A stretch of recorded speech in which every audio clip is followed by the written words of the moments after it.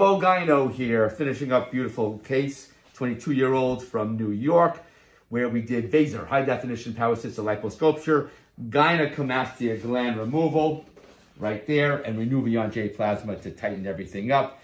We did to his chest and his six-pack abdomen. I gave him the six-pack abdomen for free because I like him so much.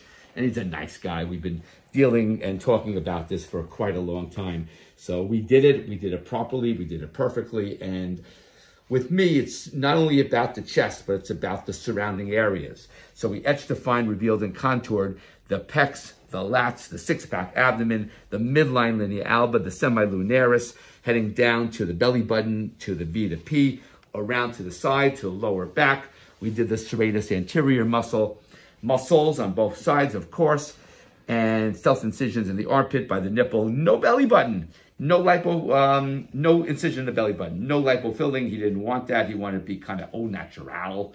Um, and he's going to look great. Uh, look at the six-pack pop. He's I did, did on the local, so he's a little swollen there. But look at look at the lats as I pull him up here. Look at the lats coming here. Yeah, look at that great lats as I pull him up. Now make a little muscle. Look at that great volume. No concavity, no indentation. Do a little crunch. Look at that six-pack abdomen, two, four, and six. This is what I'm talking about. And the glands were not that big uh, because I whittled it down to remove all the fluff from around the glands to its pit. And again, done under local anesthesia, beautiful and safely. And we tightened everything up with Renuvion J Plasma. So if you have gynecomastia, you want the results that I gave you right here, gave him right here, you call me Dr. Lebo, 631-424-0101, or email me at jonathanlebowitzmd at gmail.com. You too can be on my table.